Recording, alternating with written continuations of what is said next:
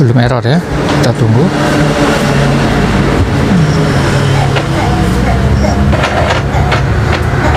Nah itu ada suara ya di dalamnya. Itu lagi ngelining nah setelah dia mengcleaning ya langsung dia error seperti ini.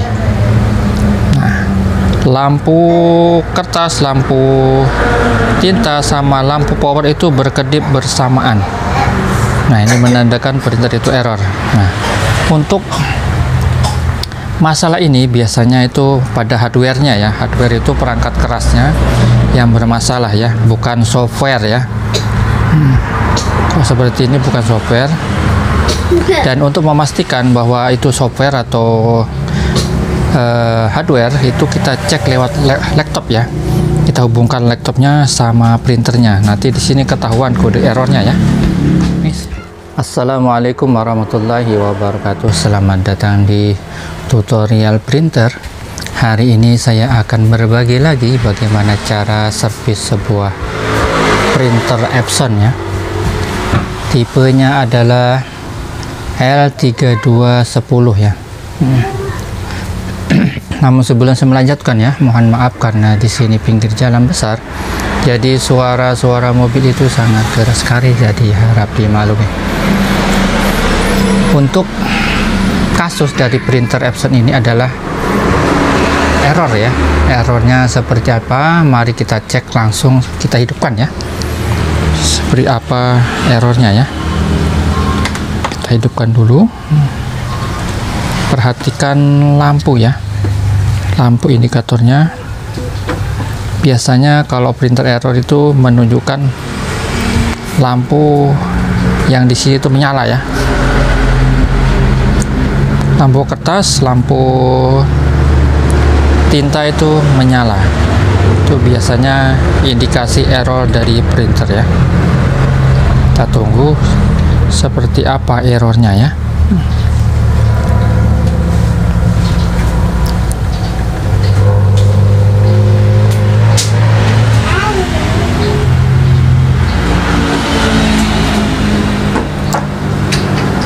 belum error ya. Kita tunggu.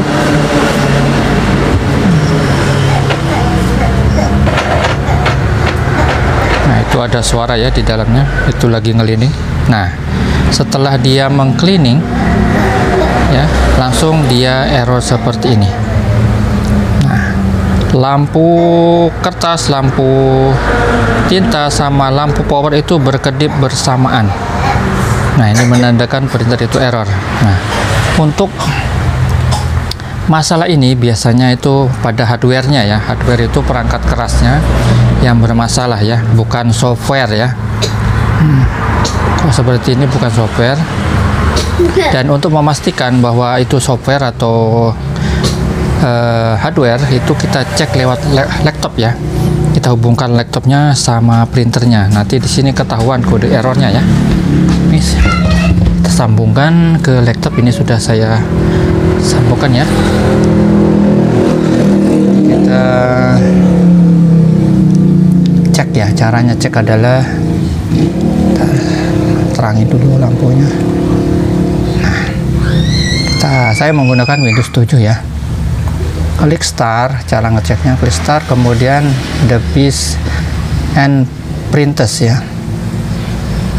Nah ini sudah ready ya. Jadi kita klik kanan di sini. Kemudian pilih printer preferences ya. Muncul seperti ini kita pilih pemeliharaan. Kemudian kita pilih Epson status monitor 3 nah di sini menunjukkan kode errornya ya. Nah kode kesalahan 000043 ya. Ini kode errornya seperti ini. Ya. Nah kalau untuk software bu dia kode errornya tidak seperti ini ya. Biasanya space required tulisannya di sini.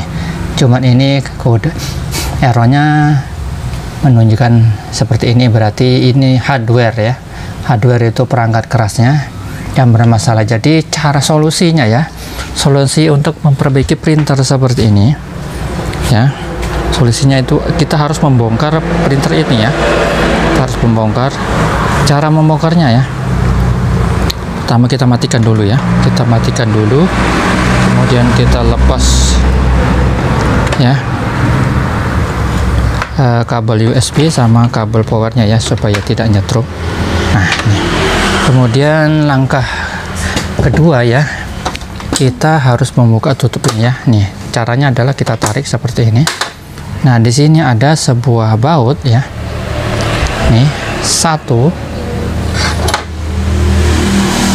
dua. Ini ada dua ya bautnya. Ini tertutup ini itu ada dua. Ini pernah servis di sini pada tanggal 10 bulan 4 2023 ini sudah lama ya servis di sini. Nah, ini, ini ini masuk lagi. Printer ini sekarang kita buka ya. Kita buka bautnya ya dua ini. Oke. Ya. Saya buka bautnya. Nah ya. Ini bautnya sudah saya buka kemudian kita angkatin ya. Nah, nah ini kita harus membuka tutup scanner ya. Kita harus membuka scanner ini. Caranya adalah tar dulu ya saya taruh kameranya. Nah ini ya. Kita angkat sedikit ya. Kita angkat ya cara untuk melepas scanner ini ya. Kita angkat sedikit nah jangan tapi nah saya ginikan ya. Hmm. tapi jangan sampai dia mengunci seperti ini ya. Ini kan mengunci ya. Nah kita turunkan ya. Kita angkat dulu kita turunkan. Ini kita dorong ini ya. Ini ada apa namanya ini? Penyangga ya bahasa anunya penyangga. Nah ini kita dorong ke bawah. Ini kita dorong sana ya. Kita dorong ke sana turunkan sedikit demi sedikit sambil didorong ke sana. Nanti ada selah untuk dia keluar lepas ini ya keluar. Penguncinya itu lepas dari dudukannya ini ya. Ini kita dorong gini sambil dorong tangan kiri ya ini. Sampai ketemu.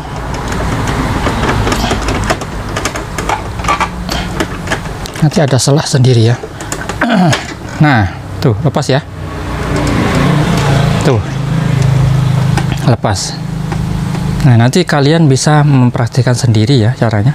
Pokoknya sambil didorong seperti ini tangan saya seperti ini ya. Nah didorong gini turunkan. Nanti kalau belum ketemu diturunkan baru naikkan sedikit nanti ada ketemu ya. Nah sambil didorong ke sana. Nanti terlepas. Nah, ini sudah terlepas baru kita mengeksekusi. Ini ya. Ini ada tuh ya fleksibel. Ini sebuah fleksibel fleksibel ini ya. Kita buka caranya adalah ini kita buka aja ya. Nah ini kita buka kita angkat ya. Lurus angkatnya ya nah lurus seperti ini. Nah ini ini tidak boleh terlipat soketnya ya. Kalau terlipat maka akan error. Oke, kemudian bagian fleksibel dua ini kita dorong ke sana ya. Kita dorong ke sana. Satu-satu. Tuh, apa satu. Kemudian satunya. Nah, seperti itu cara melepasnya. Jangan jangan sampai miring mendorongnya sana ya. Lurus tek gini, seperti itu. Baru kita kali kalian geser ke kiri ya. Geser ke kiri.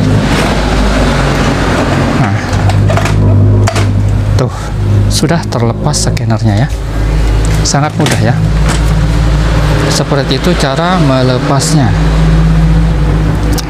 Nah sekarang kita mengecek ya. Penyebab dari errornya kosong kosongnya 4 ya 4 terus 43 ujungnya. Nah biasanya kita cek dulu ya. Kita buka bagian sini. Bentar ya oke sekarang kita buka bagian sini ya ya bagian sini kita buka angkat sedikit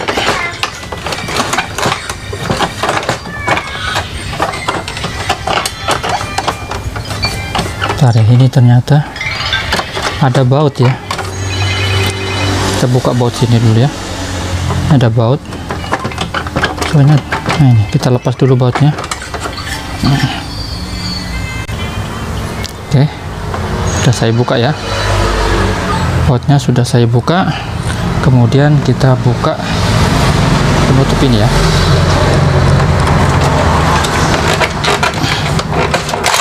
Hmm, keras ya. Hmm, terlepas, terlepas ini ya.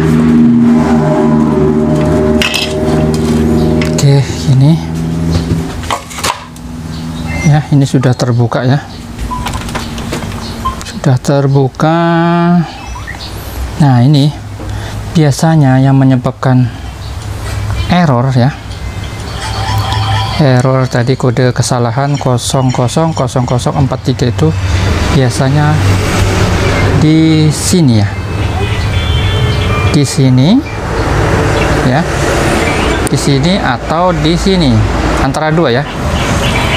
Penyebabnya itu sensor bulat ini sama sensor yang di sini. Nah ini kita coba satu-satu ya. Ini caranya pertama adalah kita eksekusi bagian sini. Terus untuk eksekusi bagian sini kita bersihkan ini ya. Kotor ini biasanya kotor ya. Walaupun tidak kelihatan kita bersihkan saja. Ya kita bersihkan saja. Ini sensornya menggunakan tisu saya cari tisunya dulu. Oke. Ini sudah saya siapkan tisu kita kasih air sedikit ya. Baru kita kelihatan ya. Nah, kita bersihkan ini ya. Ini sambil diputar di sini ya. Putar gini nah, kita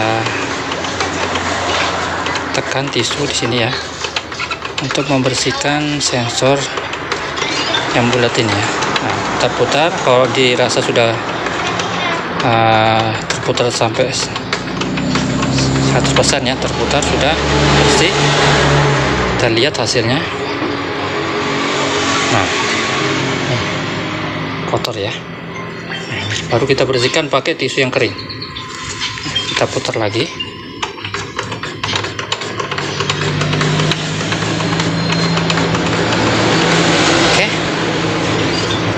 tuh hasilnya ya. Ada kotorannya lagi kita bersihkan. Untuk memastikan ya. Oke sudah lumayan bersih kayaknya ya. Oke sekarang kita tes dulu ya. Kita tes dulu. Kita tes. Nah kita tes dulu ya. Setelah kita bersihkan tadi ya sensor ini kita tes dulu apakah berhasil atau tidak ya. Cara tesnya kita pasang lagi ya. Scannernya kita pasang tapi tidak perlu kita tutup dulu ya. Kita, kita pasang ini ya. Kita pasang dulu. Nanti kalau berhasil baru kita tutup ya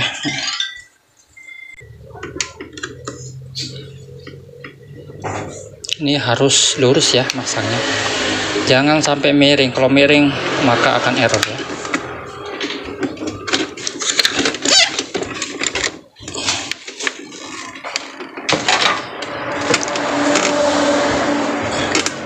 Oke. lepaskan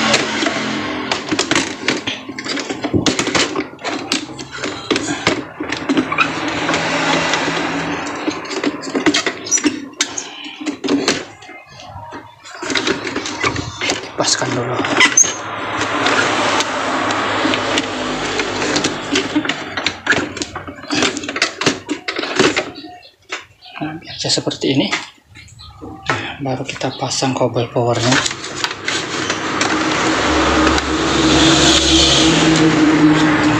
Kita tes ya hidupi. Semoga berhasil ya.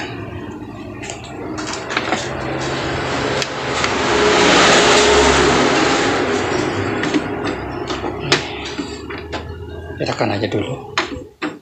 Ini walaupun tidak ditutup dia nggak masalah ya. Yang penting di sini tidak error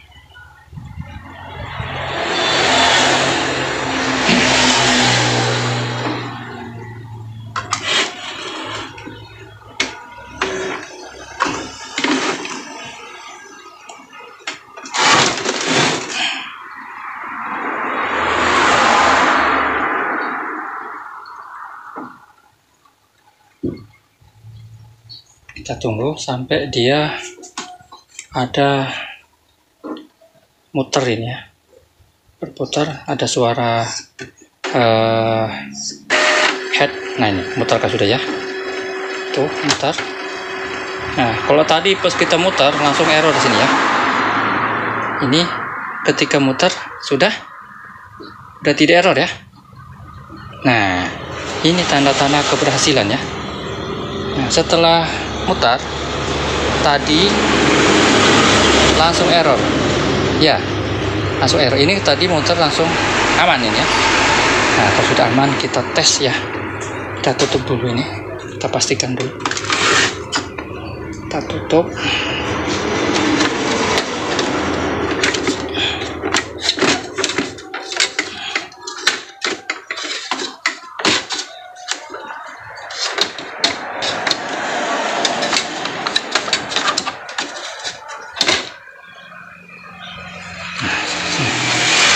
pasang kertas ya semoga berhasil. Oke. Okay. kita coba kasih kertas ya. Kita fotokopi. Ini kan sudah tidak error ya. Kita coba fotokopi. Kopi hitam ya. Kalau kertasnya keluar wih Masya Allah berhasil ya? Oh bagus hitamnya. Oke. Ini hasilnya. Hitamnya mantap ya. Hitamnya bagus. Ini sudah tidak error ya. Sudah bisa ngeprint. Sudah tidak error. Berarti eh, apa ya? Kesimpulan ya. Kesimpulan dari kode error tadi ya kode error 000043 itu permasalahannya adalah di sensor bulat ini ya. Nah itu kesimpulan dari hasil servis ini tadi ya. Jadi bagi teman-teman yang punya eh, keluhan seperti itu tadi ya kode errornya silahkan bersihkan terlebih dahulu ini. Kalau sudah tidak berhasil kalian bersihkan ini masih error kalian ganti sensor ini. Demikian ya. Nanti kalau masalah merakit kalian kalian bisa saja merakit ya. Ini yang intinya bahwa ini sudah berhasil kita servis. Demikian ya semoga bermanfaat. Wabillahi taufiq wal hidayah. Assalamualaikum warahmatullahi wabarakatuh